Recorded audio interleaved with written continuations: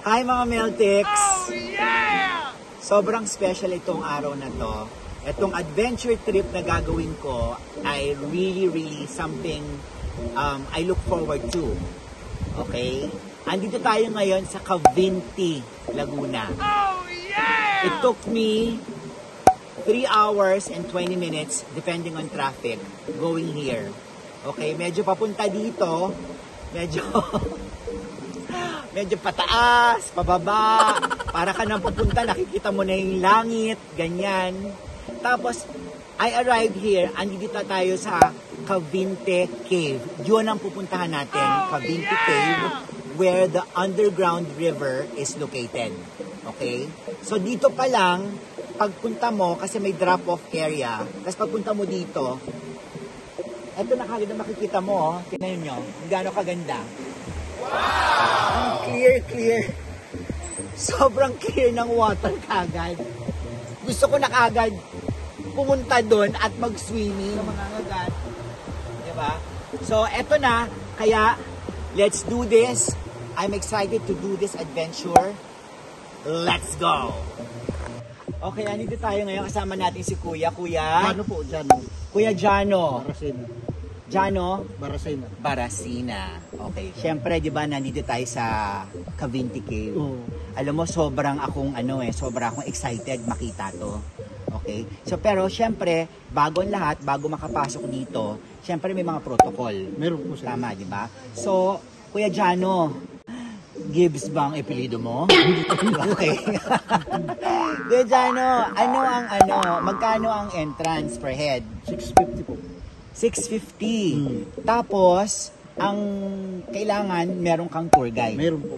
Kasi, bakit kailangan ng tour guide? Ay, kasi po para mas-safe ang pagpasok nyo sa loob ng cave. Kasi syempre, i-explain ba ng tour guide kung ano yung mga nandoon sa kuweba? Okay. So, magkano naman ang tour guide? 600. Okay. So, per head, it's 650 at ang tour guide is 600. Ah, gamitin o dalhin papunta dun sa cave para at least mga Meltex, si Ah, Kuya Jano sasabihin sa sir, atin. Naka-helmet tayo, tapos yung headlight. So, yung tour guide na magpo-provide nun. Hmm. Tapos, pwede mag-picture-picture sa loob. Pwede po. Okay. Headgear and headlight. Headlight. Okay, that's it. Kailangan ba mag-life vest? Tatanungin natin, sir, sa lalabas na tour guide malalaman natin kung may tubig doon sa loob na kasi sir, pag minsan may tubig malalim pero hindi naman siya actually umaagos naka-steady. Imbitahan mo ang ating mga Meltics. Sige. Kaya na sir Ikaw na mo yan. Huwag ka mahihiya. Sabi mo, imbitahin mo sila na pumunta dito sa ano, Cavinti Cave. mga guys punta kayo dito sa Cavite Cave magagandahan kayo dito sa lugar namin Oh, di ba? Okay, Kuya Jano. At sayo muna tayo. One, two, sayaw.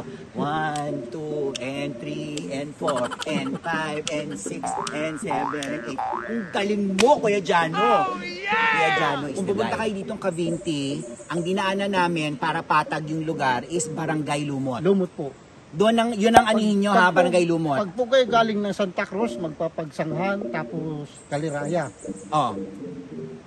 Doon yung daan, po, Lumot, di ba? Lumot na po yun Okay, yun ang Dadaan pinakamagandang kayo way. ng Ka- Kaliraya Lake, yung tabing dagat. Oo. Nadaanan, uh, yun, which is dinaanan namin kanina. Yun yung magandang way para patag. Kasi yung isa, di ba, parang medyo mas rough Pag road po doon. tayo manggagaling ng, ng halimbawa ng Alabang o ng, ng Maynila. Oo. Pero pag dadaan kayo, na, galing kayo naman ng Quezon, dadaan kayo ng ang Kauli-Holoyang Quezon, Lokbang Quezon, tapos Luciana, Laguna na. Okay. Ang kasunod nung Kabinti na ulit. Okay.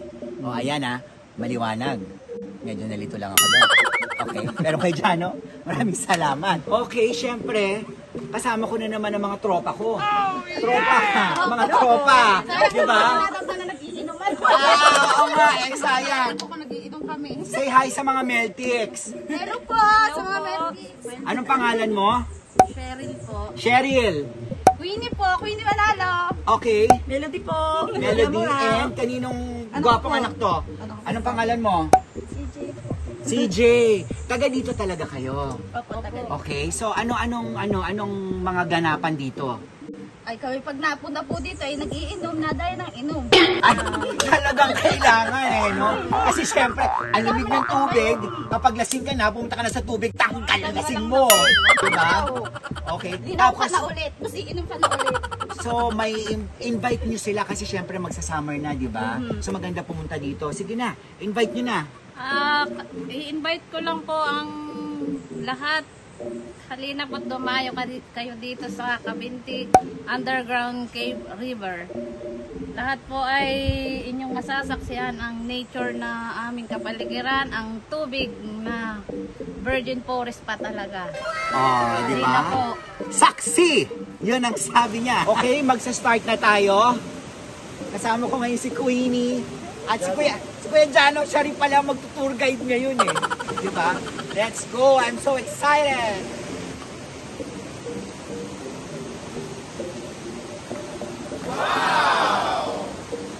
Ang ganda! Dito pa lang, di naman napaka-clear ng water. Parang gusto ko na kagad kumain. Sobrang fresh na fresh ang tubig. Sobra. Wow. Okay, Kuya Jano, may sinasabi ka kanina eh.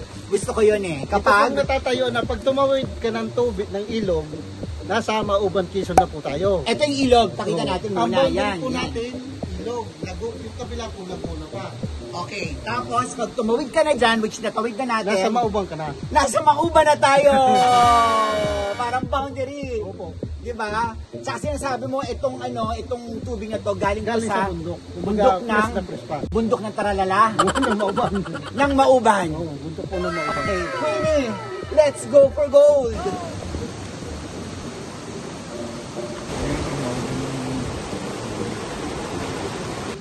Tayo sa kuweba! Ito po, ito so, sir, ang bunganga ng ating pilba. Yan ang, ito, ito ang opening. Ang opening. Diyan po, ta, diyan po tayo papasok. Okay, bago tayo pumasok, kailangan natin ng dance step. Okay? Okay, papasok na kami sa loob.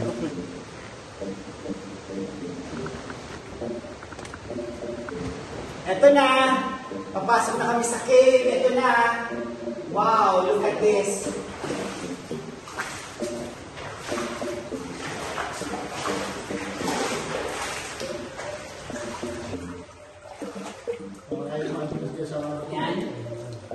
Okay. Ang ganda. Woo! Okay, uh, Kuya Jano, may sinasabi ka, di ba? Ano yon? Di katatapos, di pa po katatapos lang natin ang tumawid ng tulay. Oo. Pagkatawid po natin ng tulay, ito pong kuiba, nagdalawang chamber. Okay, dalawang chamber. To the left May, may, may kaliwa po, may kanan. and to the right. Oo. Tingnan mo. Ayan. ano yung gumagalaw na yun? Kala mo, ano? Pagkatapos sir natin itong kaliwa, babalik tayo, pupunta tayo ng kanan. Pagtapos natin dito, pupunta tayo tayo ulit doon. Kita dito ay giant kalabasa. kalabasa, flowstone, fountain of youth, saka underground river. Gusto ko yung fountain of youth. Pwede kong inumin yon. Mayroon sir, mas maganda pa doon, mananan dyan. Talaga? Pag ininom ko ba yung fountain of youth, magiging kamukha na kita? let's go to that. Let's go to that fountain of youth. Kaya po, ito po yung tinatawag namin giant kalabasa.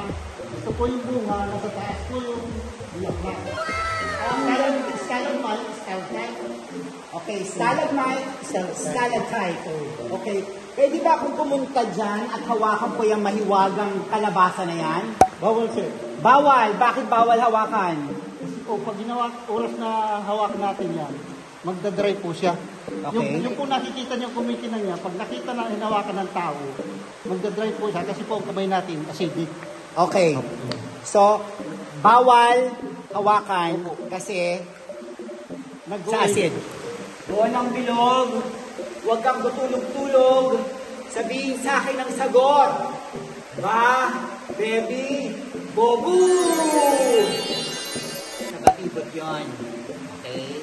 I'm sure hindi niya alam yun. Gusto ko lang sabihin yun kasi ito yung maiwagang bilog. Diba? Masok ako sa mini cave! Ganda! Napaka ano naman dito, very Mystical. Yun ang masasabi ko. Very mystical. Ang ganda. Kuya Jano, ano to?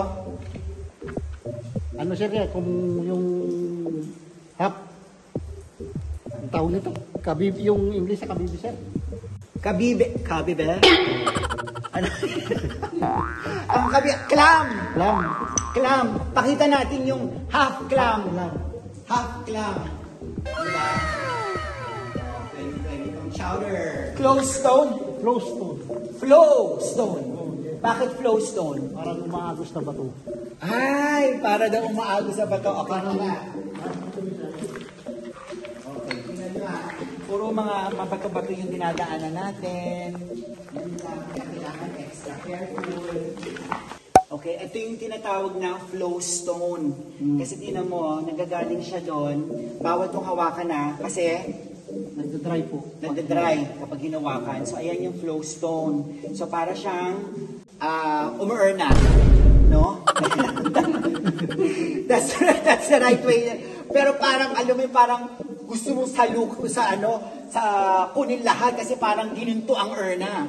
'Di ba? So parang naku babigyan tayo ng swerte nito. Flow stone. 'Di ba? Let's go. Andito na tayo ngayon sa pinakapaborito kong part, ang Fountain of Youth. Okay? Ulitin ko ha, ang Fountain of Youth. Ang echo na, echo. Di ba? So, syempre, sa Fountain of Youth, dahil ang hashtag ko sa buhay, forever young, kailangan, painom ko to. Yan na. Ang sarap. Manamis na bisa na. Manamis-namis at greaseless pa. Kasi, Parang manamis na miss. alkaline water to, di ba? Oo. Sino si alkaline water? Oh my God, yung tunog. Siyempre, di ba? Ang tinugyot. Ay, lahat talaga forever young. Di ba? Ang ganda. Okay, so tingnan nyo. Andito na tayo sa dead end ng left chamber. Okay? Makikita nyo. Kaya medyo ma-echo. Di ba? I love you. Sana nag-I love you back eh. Wala eh. Di ba? Ganun talaga. I love you! Wala. Nandun lang talaga. So, punta tayo. Punta tayo. This is the underground river.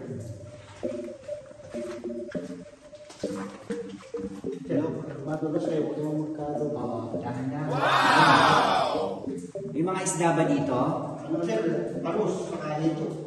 Hito, tsaka palos. Saka yung tinatawag namin yung hipon, yung malalaking hipon. Ah, mga malalaking hipon. Ang ganda. Ang ganda-ganda. Tiplasan, tiplasan pa lang. Timplasa, may mga ganun-ganun pala dito. So, very ano rin pala, ang daming makakukuha dito para makakain, no? Okay. So, papunta na tayo ngayon sa right chamber. Right chamber, sa Okay. So, ang ganda ng rock formation, di ba? Nag nagubad lang ako ng slide kasi medyo ah, nags- gusto kong mag-swimming mamaya eh. Tapos ito, sa nakikita ko, ginawa tong corner. Oh, no! Close up mo. Ano ang nakikita niya at ano ang Profile yan. Yung iba sumusubo dyan. Yung iba sumusubo. Nako, mahirap na. Hindi ko kaya. Hindi ko kaya.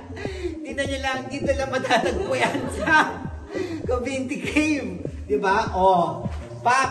Dito na lang siya, pwesto siya, oh. Mm. Tapos doon yung kumukuha. Ay, sanay na sanay si Kuya Jan. sanay na sanay siya. Oh, oh pak. Okay, ang sinasabi ni Kuya Jano is ma-experience natin ito na walang ilaw. Talagang- Gaano po kadilim? Kung gaano kadilim. Talagang pitch black, kahit 5 seconds, di ba? Sige po. O sige, go. One, two, three.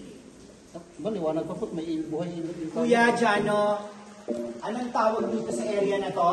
Ito po tinatawag namin ballroom area. Ballroom area? So, bakit? Ito po kasi area pinakamalawak, pinakamalapad. Ah, talaga? So, ballroom. Halika, halika. Ballroom tayo. Ah, tan tan tan tan tan tan tan tan tan tan tan tan tan Ang galing. Ang galing. mo! Ang galing mo! Halika na! Alabog ka din natin itong ballroom.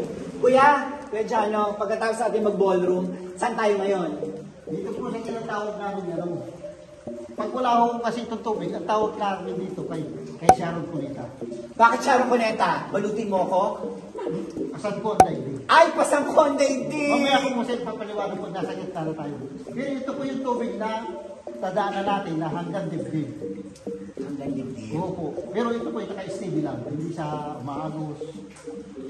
Kaya ho, mababasa po tayo. Kaya mababasa tayo. Okay, get ready. Andito na tayo, oh. Ang ganda-ganda. Kuya Jano, ito yung sinasabi mong pasan ko ang daigdig. Oo po sir. Kasi, eto, Oo. Pag ito sir walang tubig, ay nagpapapicture dito, pi- pinapasad ito. Ah, okay. Kapag walang tubig, dapat picture sila. Ah, Oo, hindi, parang yung nahirap po, binubuhat po ito. Ah, Kaya parang pasan ko ang daigdig. Kaya tinawag namin pasad ko ang daigdig. Pero napakaganda dito sa loob.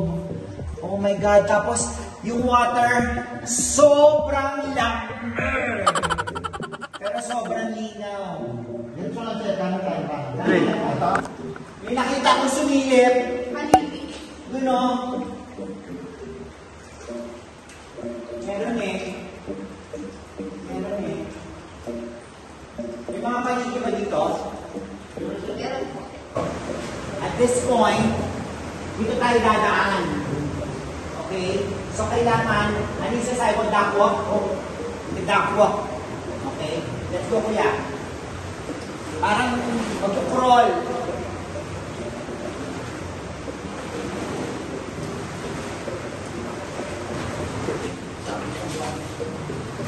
Dahan-dahan na.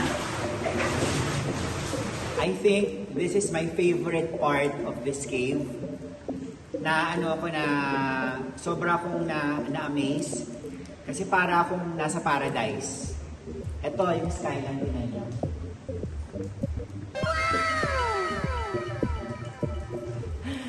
Napakaganda. Sobra. So, andito tayo sa part ng cave na ano ako na amaze kasi yung mga kumikinang, ang tawag dito, hilaw na ginto. Ayan o. Oh. Parang ano, parang gusto ko siyang kunin. Ginto! Ginto ito! Oh, let's go! At this part of the cave, ito yung tinatawag nilang cathedral. Bakit cathedral? Kasi tingnan nyo, yung mga stones, nagpo-form na parang Mama Mary na nagdarasal. Tingnan mo, oh. nagpo-form na Mama Mary na nagdarasal. Napakaganda. Ayan o. Oh. Parang mga, parang maraming Mama Mary. Beautiful. Just beautiful. So, ito yung tinatawag dito sa cave na Twin Falls. Bakit? Ay, ito mo kasi dalawa. Isa at saka dalawa din dito. Woo! Sarap!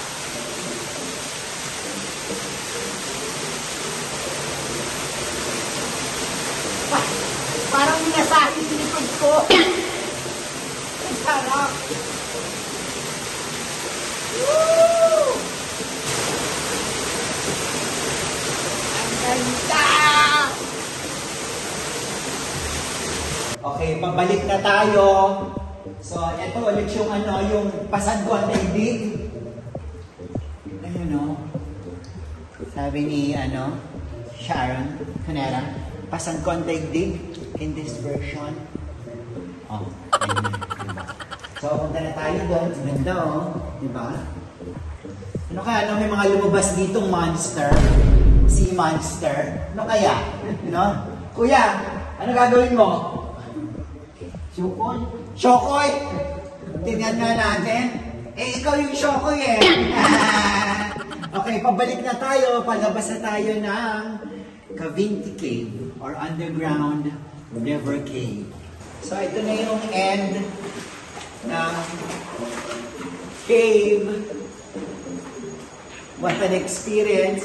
So magkita tayo dun sa pinakalabas, ha? Ganun na nangyari sa aking trip. Sobra akong nag-enjoy.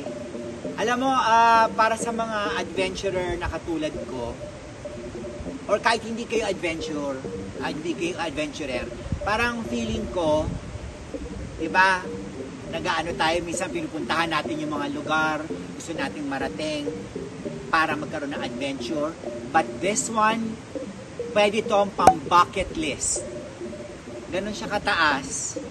Promise. Kasi if you are in tune with nature, then I think this is the place.